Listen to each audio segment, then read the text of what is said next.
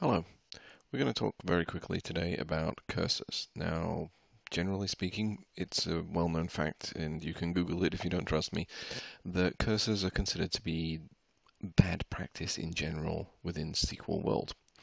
But a lot of us end up using them because we don't really know how else to achieve the same results, and it can be tricky. So I'm going to show you a very quick and easy way to achieve the same results from a cursor without using a cursor. So as an example, we have a query right in front of us. I'm going to create a quick temporary table.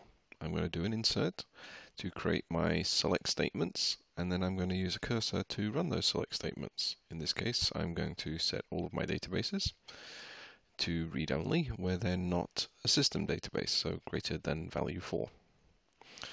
Now, this in itself seems like a pretty simple transaction. You've got only a, a few things to go through and a rather large cursor statement at the bottom. So I'm going to run it and then I'm going to refresh my DBs to prove that it's run and I have all my databases in read-only. Now if I want to do the same thing without a cursor, believe it or not it's even simpler.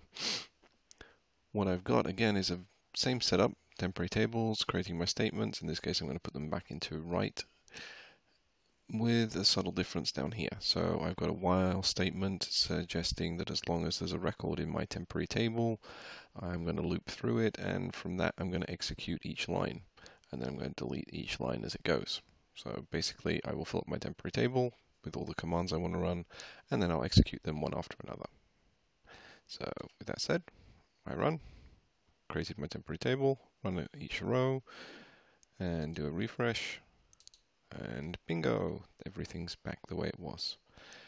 This is a great alternative to the other possibilities of using cursors, and I strongly suggest that everyone goes out and reads up on the subject of using non-cursor related queries.